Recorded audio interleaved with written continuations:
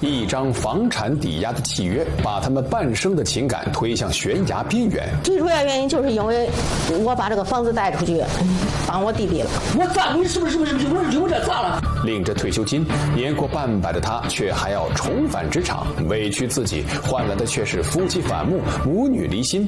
两难抉择的背后，究竟隐藏着什么？愿意怎样去弄，这一切全部都可以用四个字来形容他自己：咎由自取。我不知，我才不知啊。我层层解析，调解团队的努力能否帮他们找回亲情？不要盲目的去帮助，或者说盲目的去救济。这些问题就可以解决的。只因频繁反映一个问题，业主声称被物业威胁，双方矛盾一触即发。一弄现在吧，一弄才生气了，一弄进不去家了，就是对我们这些业主是一种报复。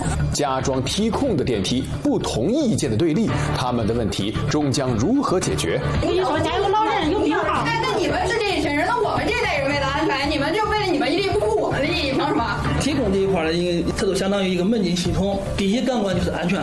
稍后百姓调解为您呈现。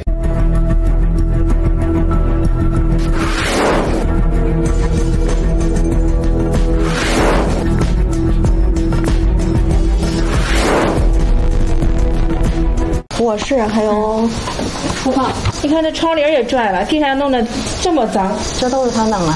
我捡了所有所有的花头给他砸完了，把柜子门也砸了，用锅砸的。对天呐，锅都砸扁了，你看。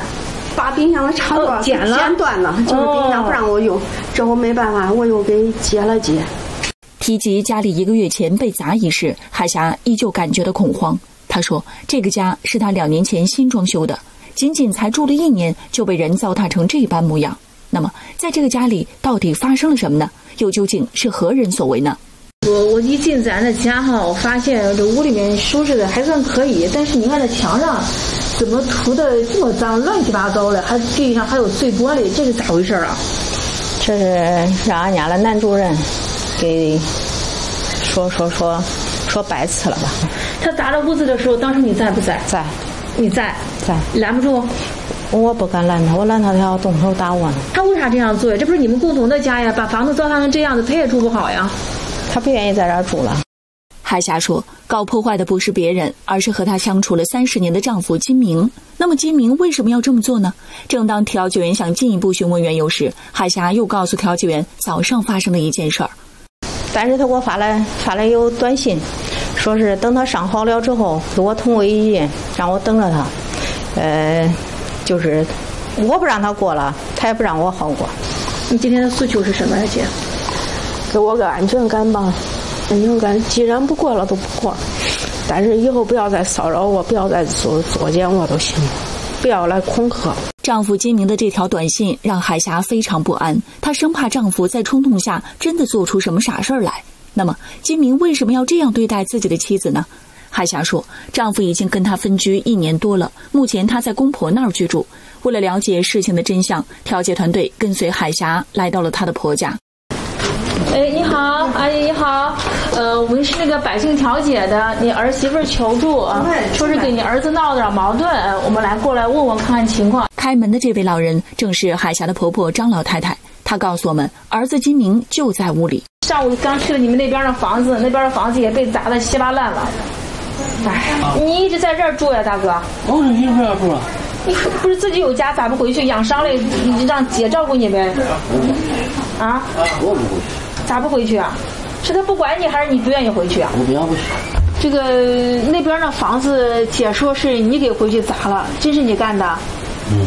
然后你热冷空调随意用，你哪怕很开都没关系，别开着空，别开着窗户开空调。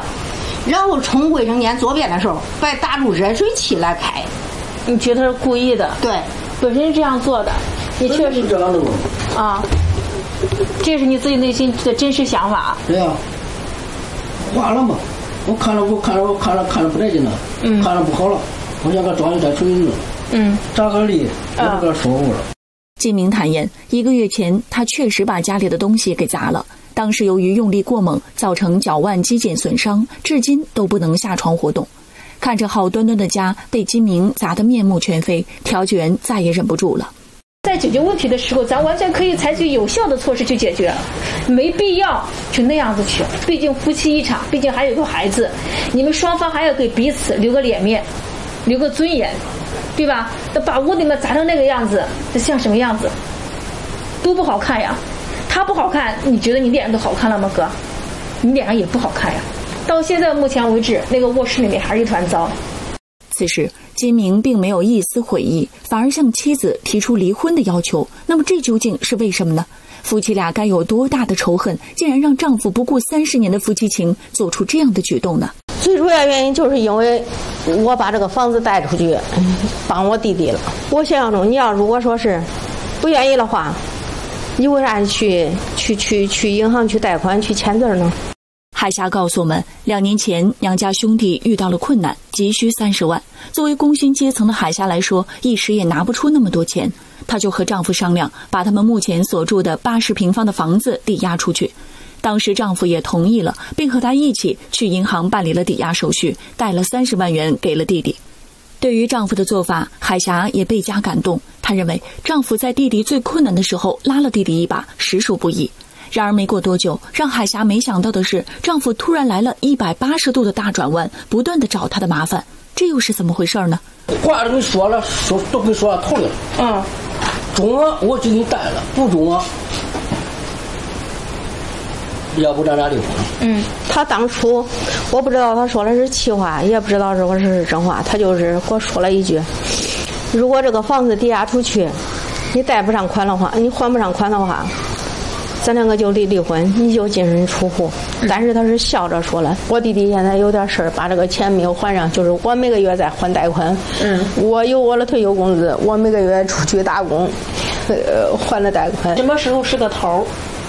七年，要房房贷还完了嘛？七年嘛，到七年，对，一共七年，现在现在已经两年了。那你每个月上班就多少钱？平均三千多。三千多，按四千算吧，高一点啊，一个月才六千，对吧？嗯，那我一千多块钱足够生活了。然后你再还掉四千多，还掉四啊四千多，我我足够生活了一千。一千多，嗯，生活对，没有结余。海霞表示，当初弟弟给自己承诺过，每月的银行贷款他会准时还上。但后来弟弟遇到困难，无力支付，他这个当姐姐的只好替弟弟去还了。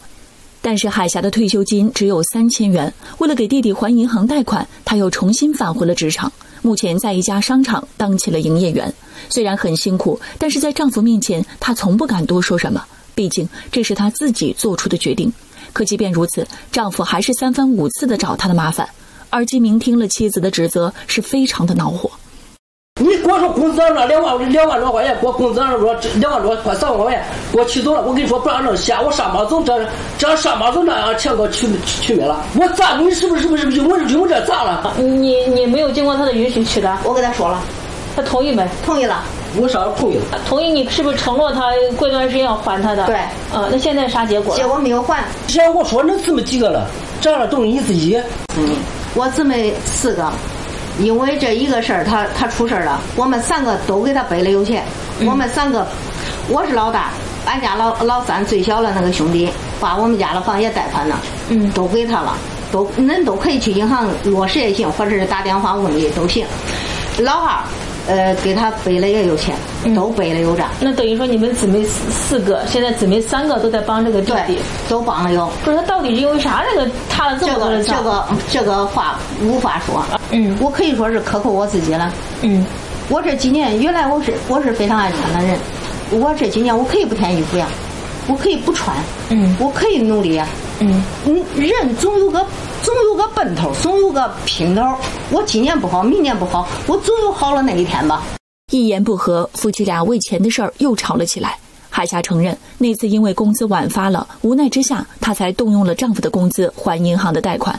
而她的丈夫金明认为，妻子只顾娘家，而忽略了他们的小家。有些时候，在顾别人家的同时的时候呢，也也要顾顾自己家里的家庭成员的感受。但是你出这一份呢？可能是已经超出了你该处这个，你的你的能力范围了。大哥对你这样的态度，他一方面呢可能对你比较生气，另一方面可能对你还是有这种心疼你。